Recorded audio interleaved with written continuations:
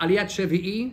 Uh, yesterday we ended off discussing the Nachash Nechoshet, but the Aliyah ended with the beautiful scene that Bnei Israel traveled and came to an actual Be'er of Mayim. They drank from the Be'er and they actually sang a praise to the Be'er. We continue to this Aliyah today, Aliyat Shevi'i, it ends the parasha, where they now come to the next land of our enemies, the Emori. And the first king being Sichon, the next king being Og.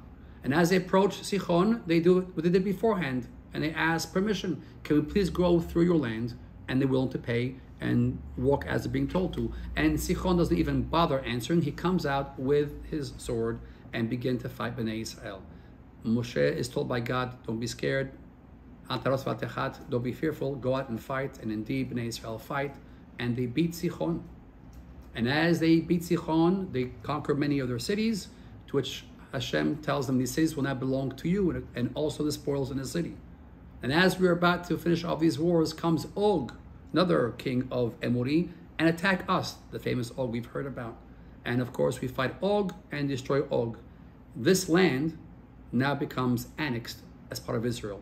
It is this land that two and a half tribes will ask Moshe in a few months from now, listen, Moshe, we're not all going to fit in Jerusalem in Israel. It's a small place. Why don't we let us have this two and a half, two and a, why don't we let us have this city for the two and a half tribes that we are here, which will be a discussion for later on.